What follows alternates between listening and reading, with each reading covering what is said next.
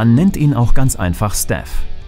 Der Staffordshire Bull Terrier, nicht zu verwechseln mit dem größeren American Staffordshire Terrier, ist ein zäher, kompakter und tiefer gelegt wirkender Hund. Er gilt als besonders mutig, aber auch kinderlieb. Geschichte und Herkunft des Staffordshire Bull Terriers Schon vor 250 Jahren lebten in England Hunde, die man als die Vorfahren des Staffordshire Bull Terriers ansieht. Es handelte sich dabei um kleine, bullige Vierbeiner, die vor allem von Bergleuten Mittelenglands gehalten und gezüchtet wurden. In den Arbeitersiedlungen lebten sie mit ihren Familien auf engstem Raum und wurden dafür eingesetzt, Kinder zu hüten und Ratten zu vernichten.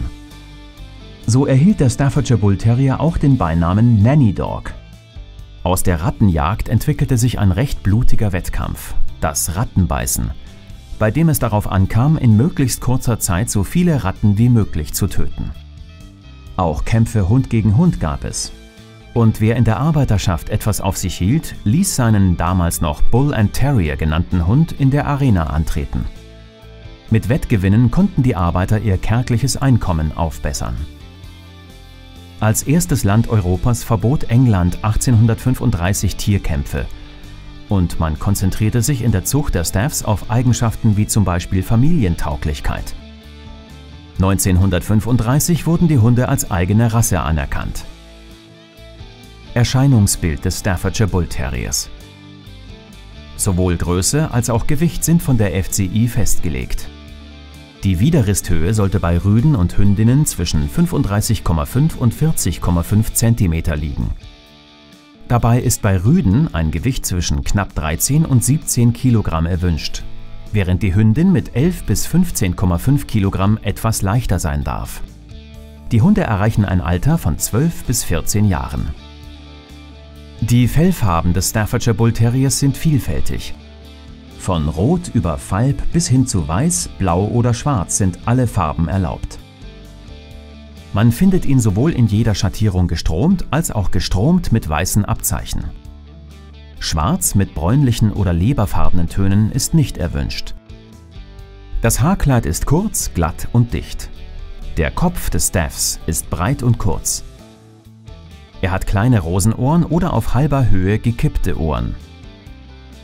Wesen und Charakter des Staffordshire Bull Terriers von Natur aus ist er ein liebenswürdiger, treuer, aber auch sehr dominanter und hartnäckiger Hund.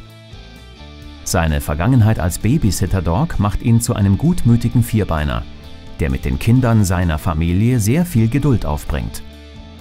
Er ist sehr menschenbezogen, wachsam und stets bereit, sein Rudel gegen Eindringlinge zu verteidigen. Der Staff muss frühzeitig sozialisiert und an andere Hunde gewöhnt werden.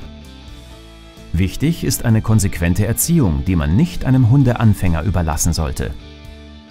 Leider wurde und wird er in manchen Zuchtlinien, besonders in Großbritannien, nach wie vor als Hund mit Aggressionspotenzial gezüchtet, obwohl der Rassestandard aggressive Hunde ausdrücklich ablehnt.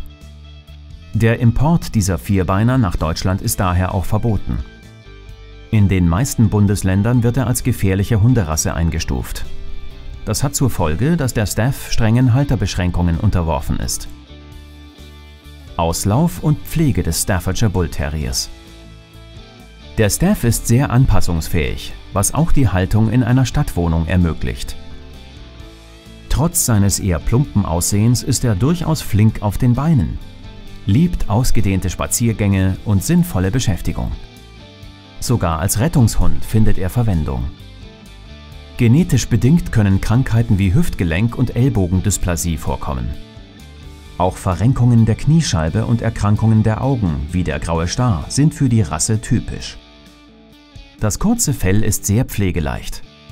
Regelmäßiges Bürsten genügt.